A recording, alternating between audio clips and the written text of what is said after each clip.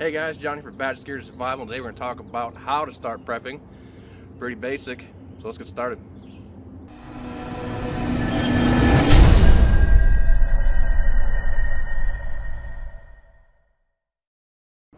Alright guys, like I said, this is very basic, very straightforward stuff you got you can do to survive. You need very few things, very basic things to survive. Food, air, water, and shelter. Air is already taken care of. If you can't breathe, you're going to die anyway. Don't stick your head in the river and drown. Easy. Step one. Step two is shelter. Three minutes. That's that, that hierarchy of three thing. You only last three minutes, three minutes, or three minutes, three days, three weeks. So let's start with the basic one. Shelter. You're gonna bug in, you have a house. Use it.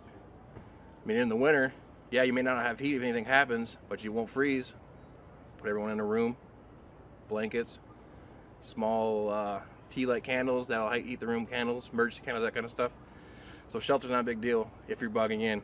Now bugging out, that's another deal. If you make sure when you're bugging out, you need some sort of shelter. That could be tents, tarps, uh, swag shacks are great. If you go ahead and go look that up, a little expensive, but awesome, awesome uh, implement for your pack. Like I said, tarps, great, great thing. Small, lightweight, fold up, put in your pack, forget about it. Although you should know how to put that up, so you need to practice with that as with all your gear. It's easy. It's easy to do right. You just need to practice it. Practice your knots, practice your lashings, practice putting that up, building fires around it, and just doing it. You need to practice it. So shelter is covered. Or tents. Tents are easy.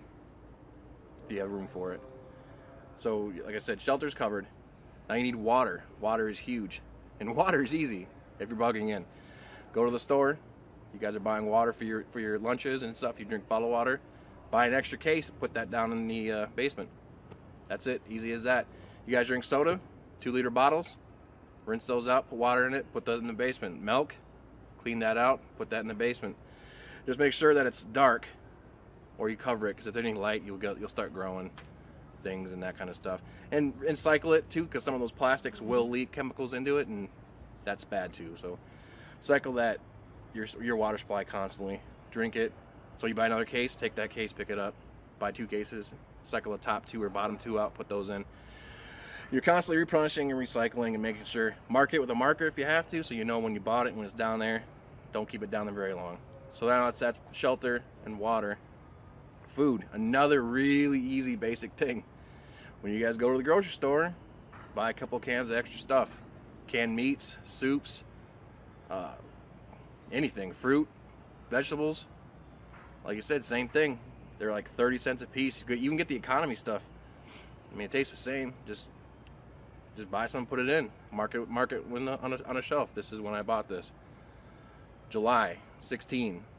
A year from now, pull it off, replace it, constantly recycle, not recycle, re, uh, replenish, and then re, and use it.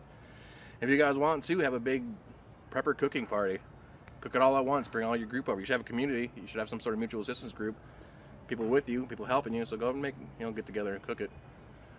So that's basically it. That's how that's how easy it is. That is easy. Go buy a few extra things here and there and test it or make sure you track it and use it. And as far as gear goes, that's what I was saying about those tarps. I mean, even us as people who do this a lot, we still have our own issues. We still worry about things and we'll cover that in a second too, but we actually test our gear to cut down on that worry. We actually do research on a lot of these things, and we do push it out to you guys as information. So if you guys have a piece of equipment you're interested in, do a lot of research on it, get that piece of equipment, test it a lot, and then when you put it in your pack, you know for sure that it works for you in these situations.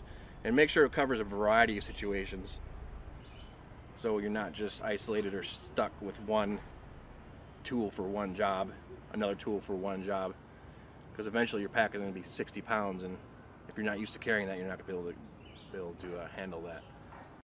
All right, so we covered your basic necessities for prepping, and if you need to go back, go to ACARD bug out bags and your GHB, so you have all that stuff, and find those tools and put it in. The other thing I want to talk about is the weirdness factor, how weird you can get with this. Now don't get so deep into it that all you worry about is having a thousand cans of cream corn in your basement. Now don't get Don't get crazy. You can get crazy by all means, but don't let it don't let it eat you up. Don't let it constantly grind on you because all you're gonna do is sit around thinking about it. Be scrolling through Amazon and prepper forums trying to find the next best thing, which is another blog we have up. Go ahead and read that. Doesn't it's not the gear, the cost of the gear doesn't save your life. It's how you use the gear is gonna save your life.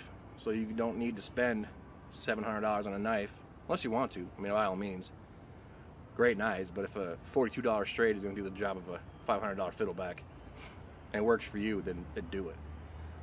But I just want to reiterate, don't let this, because it can.